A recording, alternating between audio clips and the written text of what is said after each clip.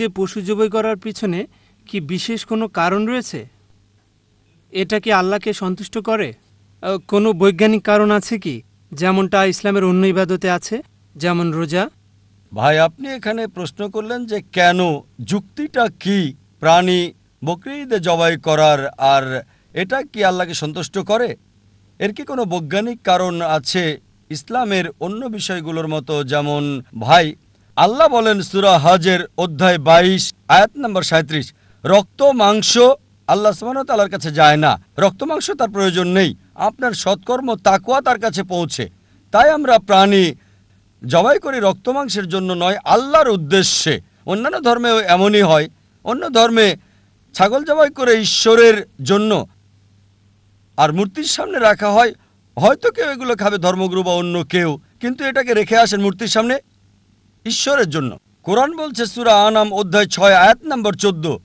আল্লাহ তাআলা তিনি সবাইকে খাওয়ান, তার খাবারের প্রয়োজন নাই। তাই যখন আমরা প্রাণী জবাই করি, মনে করি না যে রক্ত মাংস আল্লাহর কাছে যায়। এটার কারণ নবী ইব্রাহিম আলাইসালামের ঘটনা স্মরণ করা।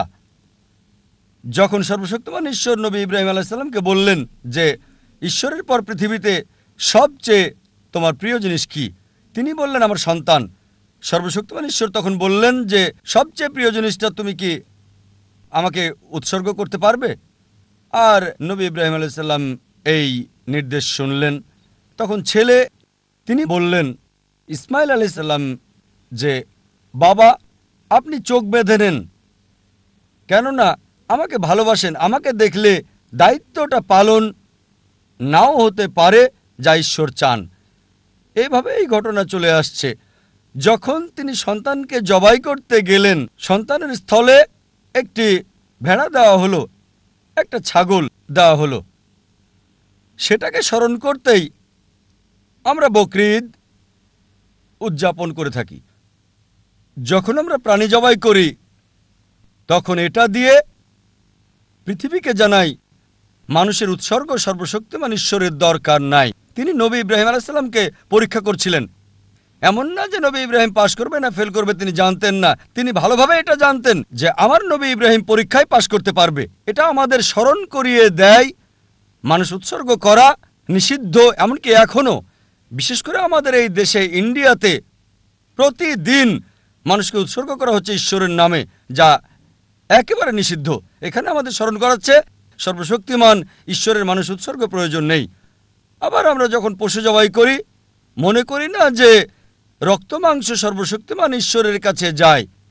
পশু জবাইয়ের যে মাংস, সেই মাংসের এক তৃতীয়াংশ দিতে হয় গরিব লোকদের। আরেক অংশ আত্মীয় স্বজনকে দিতে হয়, নিজে বড় জোর এক তৃতীয়াংশ রাখতে পারেন। এখানে আবার ভাগ করছি। যদি চান পুরোটাই গরিবদের দিতে পারেন তবে কমপক্ষে এক তৃতীয়াংশ এক তৃতীয়াংশ আত্মীয় স্বজনদের, এক তৃতীয়াংশ নিজের জন্য। এভাবে গরিবদের সাহায্য করা হচ্ছে। গরিবদের খাওয়ানো হচ্ছে। আমাদের এটাও স্মরণ করাচ্ছে যে মানুষ উৎসর্গ নিষিদ্ধ।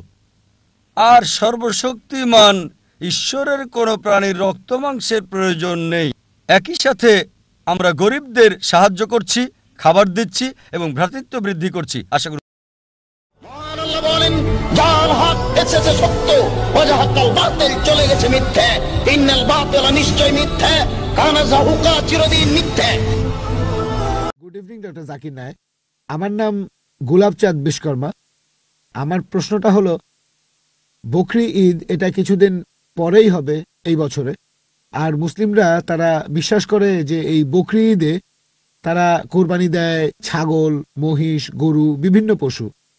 আর ইসলাম ধর্ম অনুযায়ী ইনসানিয়াত আর মানবতা খুব গুরুত্বপূর্ণ। প্রত্যেক মানুষ দয়া দেখাবে বিভিন্ন পশু পাখির প্রতি আর মানুষের প্রতি, সবার প্রতি তারা দয়া দেখাবে।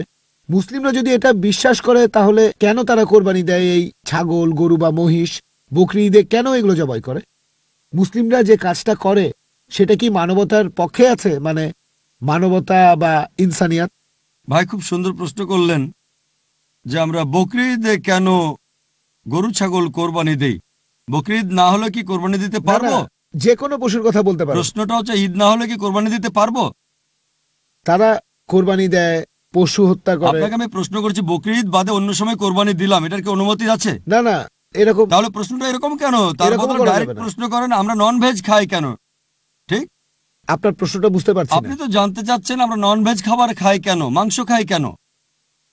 আমার প্রশ্নটা হলো, বকরিদের সময় নিয়ে আর অন্যান্য সময়গুলো আচ্ছা ঠিক আছে। দুটোরই উত্তর দিচ্ছি। বকরিদে যেটা হয়, আল্লাহ পবিত্র করে বলছেন সুরাহাজ অধ্যায় নম্বর বাইশ, আল্লাহ আল্লাহর কাছে মাংস বা রক্ত পৌঁছায় না, আল্লাহর কাছে পৌঁছায় তোমাদের তাকোয়া অন্য ধর্মে এরকম না। অন্যান্য ধর্মে উৎসর্গের সময় পশু বলি দিয়ে ফেলে রাখে একটা বেদিতে একজন দেবতার সামনে। সেটা খায় কে? ঈশ্বর খান? ইসলাম ধর্মে যখন কোরবানি দেই, আমরা কি করি? কমপক্ষে তিন ভাগের এক ভাগ অবশ্যই গরিব লোককে দিতে হবে। এক তৃতীয়াংশ দেব আত্মীয় আর বন্ধুদের। বাকিটা নিজের জন্য রাখব। নিজের জন্য ম্যাক্সিমাম এক তৃতীয়াংশ রাখতে পারবেন। চাইলে আপনি পুরোটাই দান করে দিতে পারেন। তাহলে যখন কোরবানি দিচ্ছি, তখন কি করছি? মানুষ জাতির উপকার করছি। আমরা তাদের জন্য খাবার দিচ্ছি। এখন কাউকে খাবার দেয়া এটা কি ভালো না খারাপ? খাবার দেয়া যাতে মানুষ উপকার পেতে পারে এটা কি ভালো না খারাপ? ভালো। মানুষের জন্য এটা ভালো না খারাপ? ভালো। তাহলে ইসলাম হচ্ছে মানবতার ধর্ম। আপনি প্রশ্ন করতে পারেন যে প্রাণীদের কেন হত্যা করা হচ্ছে? মানুষের জন্য ভালো কিন্তু প্রাণীদের জন্য কি হচ্ছে? আর সত্যি বলতে একজন মুসলিম শুধুমাত্র ভেজ খাবার খেয়েও ভালোভাবে ধর্ম পালন করতে পারে। ননভেজ খাওয়া ইসলামের জন্য বাধ্যতামূলক না তবে আল্লাহ যেহেতু আমাদেরকে অনুমতি দিয়েছেন ননভেজ খেতে, তাহলে আমরা সেটা খাব না কেন?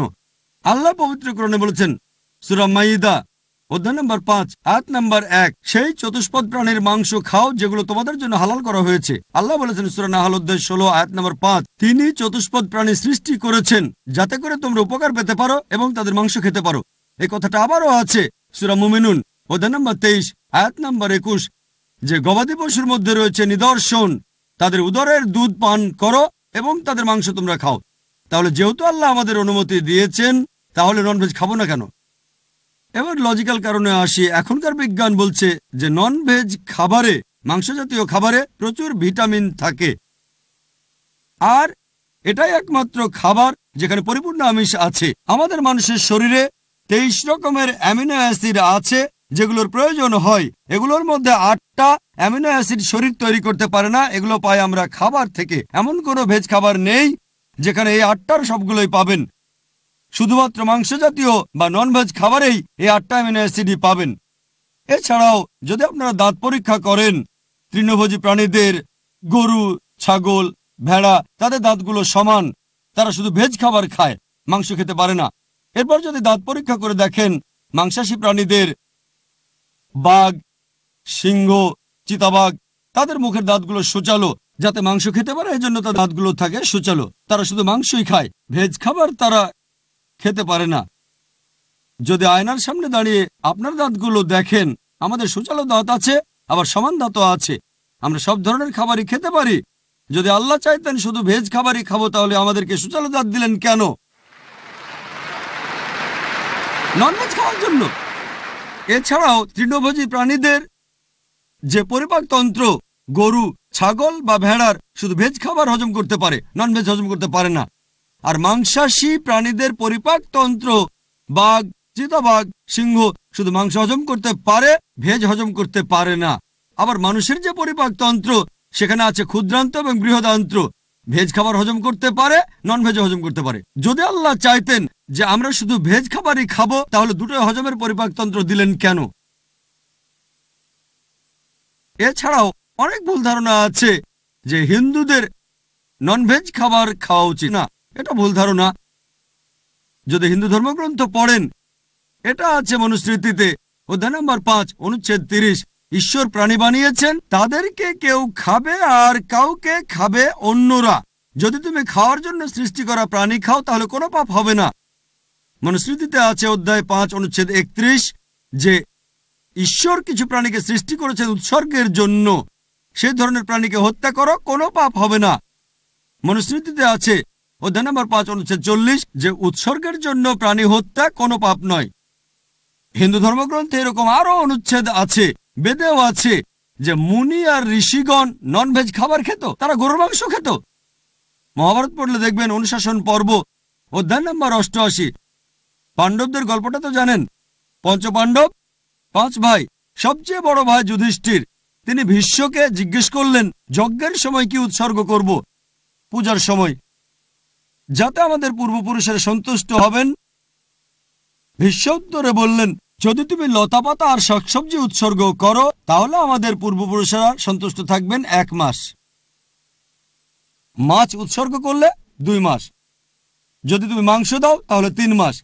যদি খরগোশ উৎসর্গ করো, তাহলে চার মাস। যদি ছাগল দাও, তাহলে পাঁচ মাস। শুকরের মাংস দিলে তখন ছয় মাস। যদি পাখির মাংস দাও, তাহলে সাত মাস। হরিণের মাংস দিলে আট মাস। এভাবে তিনি বলে গেলেন, মহিষের মাংস দিলে এগারো মাস। যদি গরুর মাংস দাও, তাহলে পূর্বপুরুষেরা সন্তুষ্ট থাকবেন পুরো এক বছর। আর যদি চাও যে পূর্বপুরুষেরা সন্তুষ্ট থাকবেন একেবারে সারা জীবন, তাহলে ছাগলের লালচে মাংস দাও বা গন্ডারের মাংস দাও। এ কথা কে বলেছেন? ভীষ্ম যুধিষ্ঠিরকে। পুরো তালিকা দেওয়া আছে। শাকসবজি, মাছ, খরগোশ, ছাগল, সবকিছু আছে। মহিষ, গরু। তাহলে হিন্দু ধর্মগ্রন্থ বলছে ননভেজ খাওয়ার অনুমতি আছে? হিন্দুরা এখন এগুলো মানে কারণ তাদেরকে প্রভাবিত করছে অন্যান্য ফিলোসফি যেমন অহিংসা, এখন হিন্দুরাও এটা পালন করে। আর যারা এই অহিংসা নীতি মেনে চলে, যে নন ভায়োলেন্স জীবিত প্রাণীকে হত্যা করা যাবে না, যদি একজন মানুষ কোন রকম প্রাণী হত্যা না করে টিকে থাকতে পারে, আমি সেটার পক্ষে আছি। এখন তারা বলে, প্রাণী হত্যা করা, এটা খুব বড় পাপ। কারণ এটা হচ্ছে জীবন, জীব হত্যা করা নিষিদ্ধ। এখন বিজ্ঞান উন্নত হয়েছে, আর আমরা জানতে পেরেছি যে গাছপালারও জীবন আছে। তাহলে ভেজ খাবার খেলেও তো জীব হত্যা করছেন। তখন যুক্তি বদলায়, ঠিক আছে, আমরা মানছি যে গাছপালারও জীবন আছে, তবে ব্যথা অনুভব করতে পারে না। তাহলে একটা গাছকে হত্যা করা প্রাণী হত্যার চেয়ে কম গুরুতর পাপ। আচ্ছা তর্কের খাতিরে মানলাম। কিন্তু এখন বিজ্ঞান বলছে, আমরা মানুষরা যে শব্দ শুনতে পাই তার কম্পনাঙ্ক বিশ সাইকেল পার সেকেন্ড থেকে বিশ হাজার সাইকেল পার সেকেন্ড। এর নিচে বা উপরে হলে আমরা শুনতে পাই না। বর্তমানের বিজ্ঞান বলে যে গাছপালা কান্নাকাটিও করে, কিন্তু সেটা মানুষ শুনতে পায় না। আমেরিকার এক কৃষক একটা যন্ত্র বানিয়েছেন যেটা দিয়ে গাছের কান্না মানুষ শুনতে পাবে আর জানতে পারবে কখন গাছের পানি লাগবে। তখন হয়তো বলবেন আচ্ছা ঠিক আছে, মানলাম যে গাছপালা যন্ত্রণা অনুভব করতে পারে। তবে এদের দুটো বা তিনটা ইন্দ্রিয় কম আছে। তাই গাছপালা হত্যা করা কম গুরুতর পাপ পশু পাখি হত্যার চেয়ে তাদের ইন্দ্রিয় পাঁচটা। আচ্ছা তর্কের খাতিরে এটাও মানলাম যে গাছপালা দুটো ইন্দ্রিয় কম থাকে পশু পাখির চেয়ে। আপনাদের একটা প্রশ্ন করি। যে ধরেন, আপনার ভাই, আল্লাহ না করুন, ধরেন সে জন্মালো বোবা আর কালা হয়ে। আর বড় হওয়ার পরে তাকে কেউ মেরে ফেলল। তখন কি জজের কাছে গিয়ে বলবেন মাই লর্ড এই খুনিকে কম শাস্তি দেন, কারণ আমার ভাই ছিল বোবা আর কালা। এভাবে বলবেন? আপনি জজকে বলবেন, তাকে বড় শাস্তি দেন। আমার ভাই ছিল মাসুম, সে শুনতো না, বলতে পারতো না। তাই ইসলাম ধর্মে এমন না যে দুটো ইন্দ্রিয় কম বা দুটো বেশি। আল্লাহ পবিত্রকরণে বলেছেন, সুরা বাকারা অধ্যায় দুই, আয়াত একশো আটষট্টি, তোমরা বৈধ আর পবিত্র খাদ্যবস্তু থেকে আহার করো, যেটা ভালো, পবিত্র, সেটা খেতে পারেন। আর এছাড়াও, যদি অমুসলিমরা তারা ননভেজ খাবার খেতে না চায়, আমার কোনো সমস্যা নেই। আপত্তিও নেই। শুধুমাত্র যখন বলছেন এটা পাপ, মানবতার বিরুদ্ধে তখন আমি উত্তর দিচ্ছি। এমনিতে অমুসলিমরা ভেজ খাবার খেলে সেটা আমার জন্য ভালো। যদি সব অমুসলিম নন ভেজ খাওয়া শুরু করে দেয়, তাহলে গরু ছাগলের মাংসের দাম বেড়ে যাবে। তাই ব্যক্তিগতভাবে আমার আপত্তি নেই।